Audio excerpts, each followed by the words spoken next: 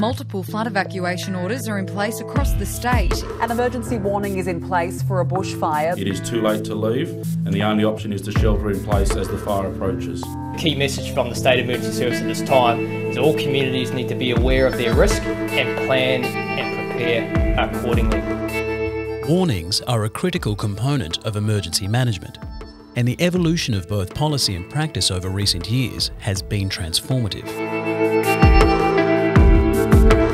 A series of significant and tragic emergencies across Australia over the past decade has highlighted the power of warnings to save lives and a need to learn more about why some warning strategies were more successful than others.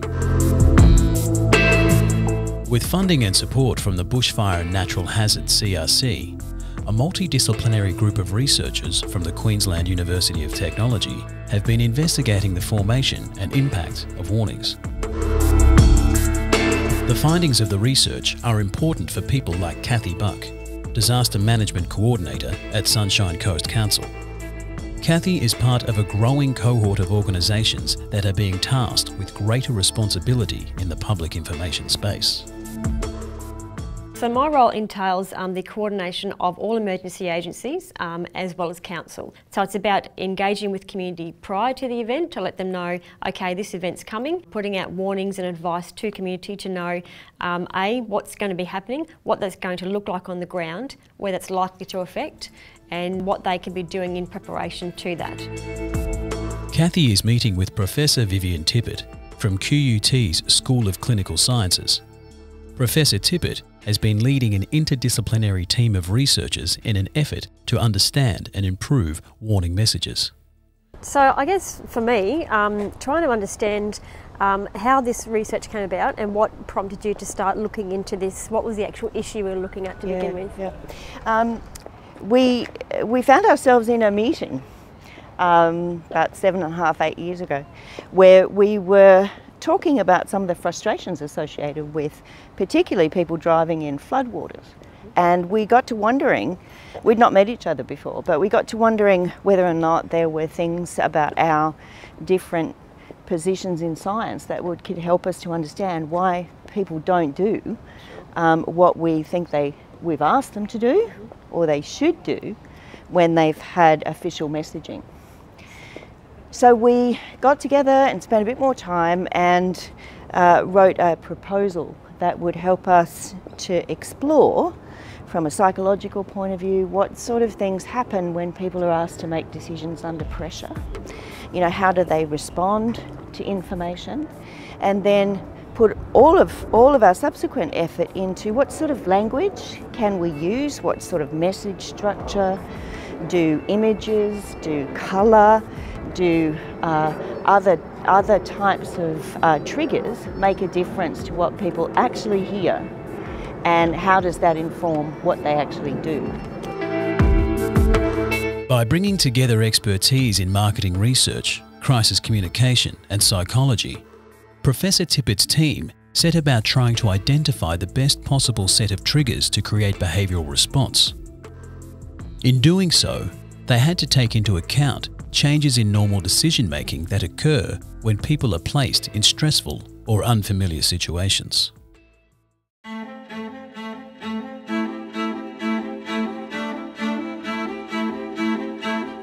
I think most of us have, have heard about and understood the fight or flight science, which suggests that when you put uh, human beings and, and many mammals under pressure, that a lot of their behavioural actions are driven by uh, changes in their hormonal structure. It's that primary. And that forces us to make decisions about whether or not we're going to stay and fight uh, or run away, basically. And whether you do that physically or you do it from a psychological standpoint, the drivers are very much the same. We also know that uh, people don't process complicated information necessarily in the same way that they do uh, when their mindset and their environment is different. And it's a very fine line between uh, being able to apply the added value of an adrenaline surge that comes with that fight or flight, uh, which sometimes can actually result in human beings doing the most remarkable things uh, in a good way. Uh, but it's a very fine line between that and, and not behaving, uh, not being able to problem solve, not being able to conduct uh, an action in the way which would maximise your safety.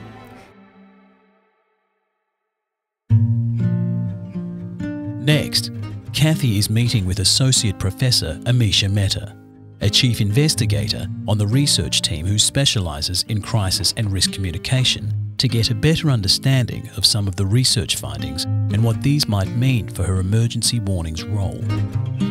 So, as far as I guess cumulative with your research, if you were to give me your top tips if I'm developing messaging for my community, what would your recommendation be in those top tips for me? The first thing I would do is look for where you might be biased to use operational or technical language and flip it.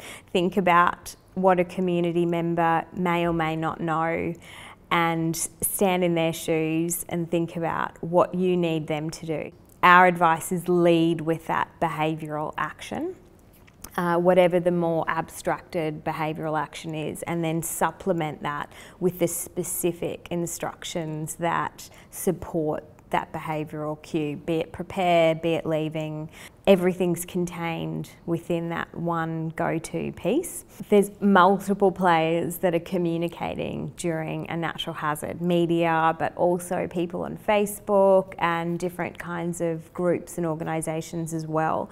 So thinking about how they work together and generally consistently is great, but when there is inconsistency in the messages, it can trigger um, concerns, misperceptions, and the use of visuals to tell part of a broader crisis narrative is really important. So when agencies can show what the fire looks like um, or show videos of what the fire looks like uh, and that can help offset some of the misperceptions that can arise as a result of mis uh, or conflicting cues.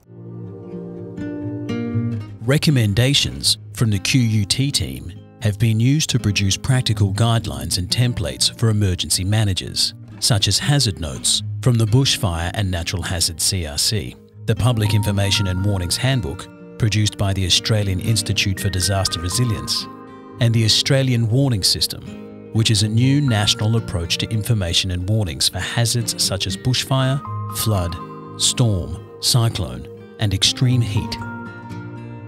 One organisation that has integrated the research findings into its warnings protocols is Queensland Fire and Emergency Services.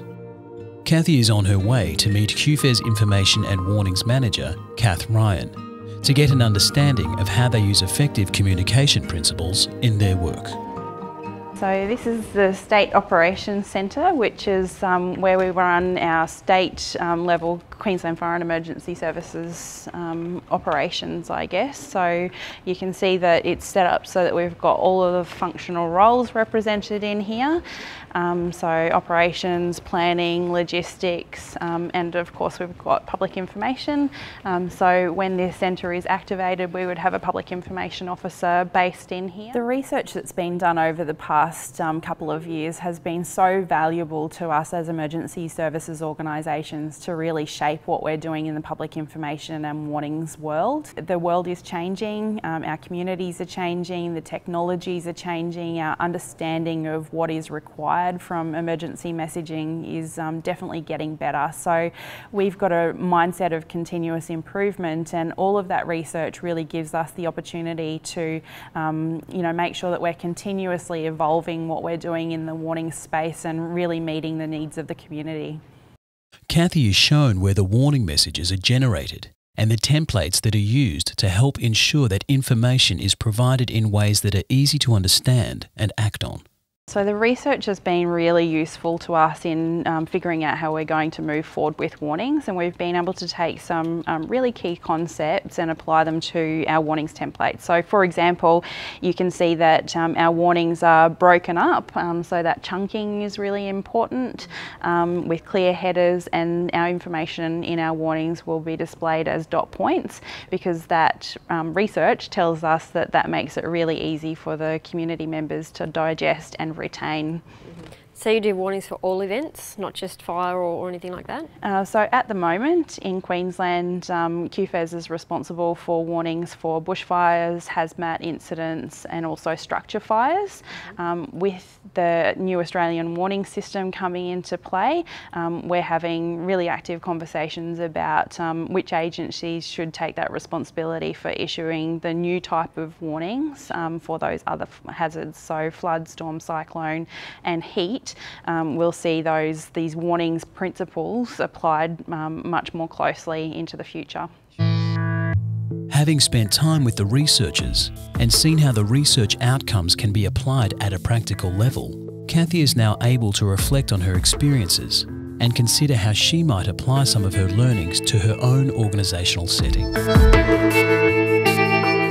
Mainly for me, it's about understanding there's a lot of research that goes on behind the scenes that we don't know about. And just seeing the culmination of that research as well as working with those state agencies it's, it's really good to see that it's actually happening. So it's really good they get information from community from agencies and put it all together. And it's just it fits really well so my immediate team, I'll be certainly giving the information and, and, the insight as to what I've experienced over the last few days, um, but certainly working with our media department and our communications branch to let them know, okay, this is what's actually being done, and then being able to work with them to say, let's look at this differently. Yes, ordinarily, if we're not the lead agent, we will just retweet, we post everything that word for word what you know QFES all those agencies do, um, but certainly when we are crafting our own messages, we understand now that we can put those elements elements into our work as well and really and work hard with our own communications within our own organisation as well as external to us um, to make sure we are giving the correct message and using those tips and tricks that I have picked up throughout this time.